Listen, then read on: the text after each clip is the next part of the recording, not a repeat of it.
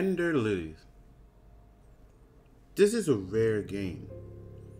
I think it's perfect. I think it's one of the few games in the world where I can genuinely say this is a masterpiece. I got a platinum on PS4. I even got the physical copy. And the soundtrack is on its way. I don't know if I'm able to give this game a score without it being completely, honestly biased. So I'm gonna do my best to make a case for you to just simply go get it. Before we start, do me a favor hit that sub, hit that like, leave a comment. Please, I'm trying to reach hundred boxes in my box army, and I need your help to do it. So help a humble box out. Ender Lilies was recommended to me by my bro. He got it before me. And believe me when I tell you this man hounded me to play this game. Like, it was, are we there yet? No. Are we there yet? No. It took a bit, I'm not gonna lie. I didn't see the appeal of it. It just looked like the cute little girl going through hell in the Metroidvania. But when I finally got it, and I finally got around to play it, I fell in love with it. So let me explain to you guys my feelings real quick. This bench, this bench right here, is where I fell in love with the game. So about the rain, the image of the undead knight and the priestess just sitting here, uh, it was beautiful. The ambiance was glorious. This is where I actually look at the menu because I just saved it before. So now we got spirits, relics, fast travel. Okay, and then I and then I see this. I can hide the UI this is too much for me.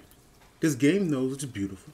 This game knows it's a looker, and it's just gonna let me look at it. It gives me the option to just hide the nonsense. And yo, I'm saying, um, animated background much like right here, right now. This is amazing. I love it. And this is only the beginning of the game. We got the wondrous forest, the catacombs. We even got the frost height of the ruined castles. In the secrets deep below. Oh, there is so much to this game. I'm just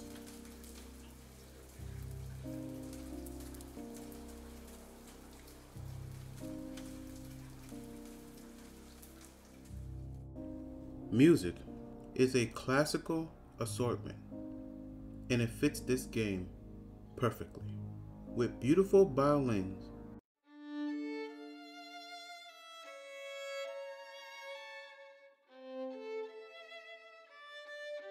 and piano arrangement.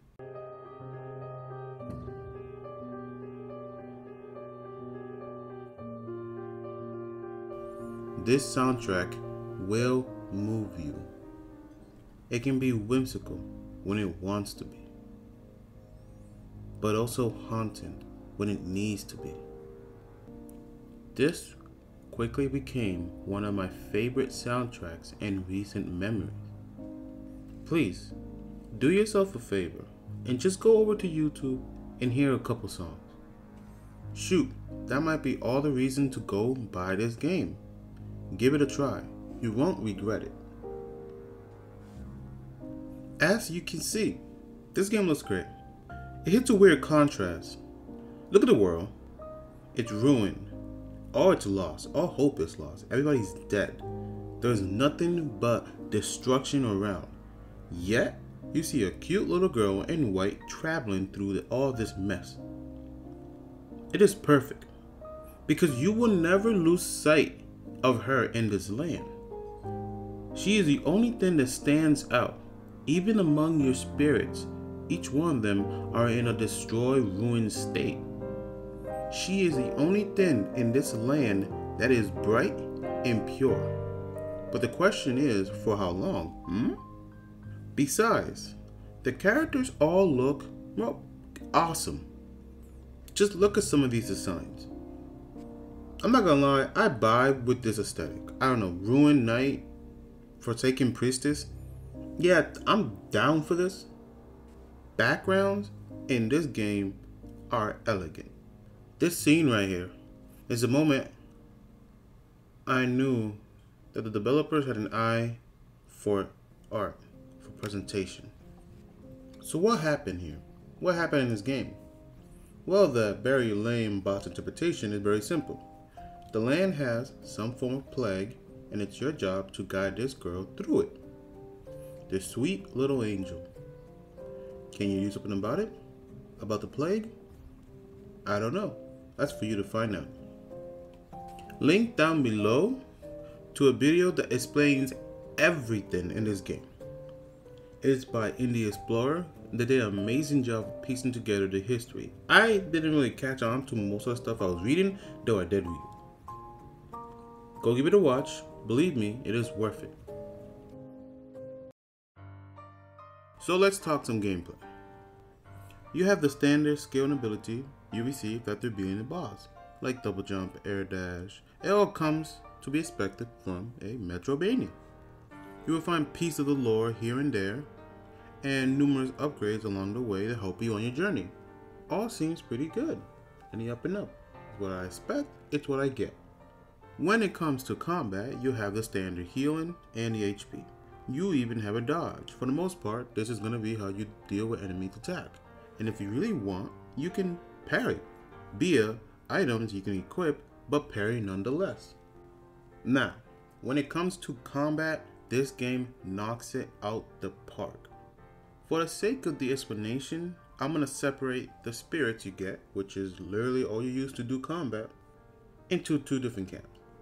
We got the basic and we got the ammo type. Let's go over the basic first. Basic attack spirits are infinite. You can use them as much as you want, as long as you want. Now, they're all pretty much just melee range, but they all come with a little bit difference in how you use them. The hammer isn't going to be like the sword. The spear isn't going to be like the hammer, vice versa. Next, we got the ammo type. This is where the game shines in its versatility and how it allows you to deal with enemies. Ammo types come in all shapes and size. Besides it literally being all shapes and size, I mean their application and utility. Now, you can equip three different spirits at any given time. This is massive. You can do a lot with three and all of this selection. You can go summoner and just summon a bunch of creatures to fight for you. You can go straight basic attack and never run out of ammo and continue to just whoop it out, duke it out. You can even be all range if you want. Shoot, if you're so inclined to, become a poison master. And the best part of all of this that I just described is that it's only loadout one. You can quickly toggle between two loadouts on the fly. This alone is massive.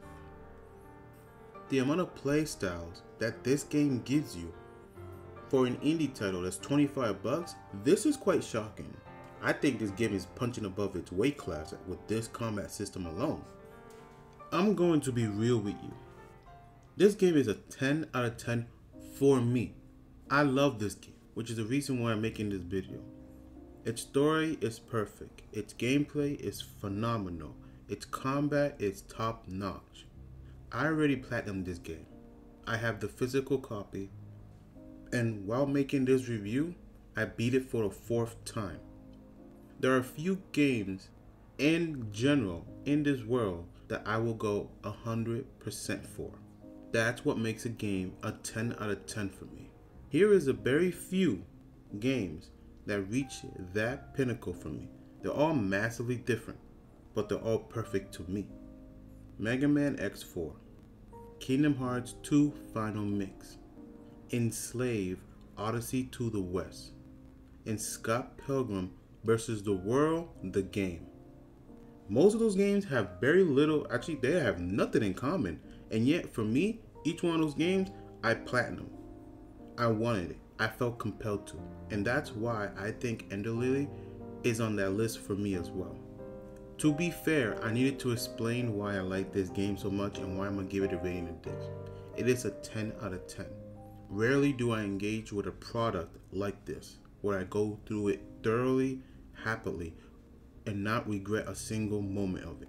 Now I have to put all of that aside, all the wonderful memories I have and look at it as a product on its own, I think being fair, being true to what it is, removing my massive bias, this game is an 8 out of 10. If this game had voice acting, it would be pushed up to a 9 out of 10. Hearing a story speak for itself does a lot and it goes a long way. Death Gambit is a perfect example of this. But seeing how high this game already scored, being an 8 out of 10, it really doesn't need it. It will be just a cherry on top. Ender Lily is a phenomenal game. I believe this game will hit cult classic status sooner rather than later. From the world design, from the music, from the combat, this is a complete package that is enjoyable from minute zero to the end of the credits. I believe this game is underrated, and I think that needs to change. If I get just a few people to try this game, mission accomplished. Links down below for the Steam page, by the way. You can also get it on the Xbox, PlayStation, and Nintendo Switch. Thanks for watching. I hope you enjoyed it, and I'll catch you on the next one. I'm planning something big, but gotta get some other stuff out the way first. Don't forget to like, comment, subscribe. Help me reach a hundred packing peanuts by the end of the year. I'll be most grateful. And have a wonderful day.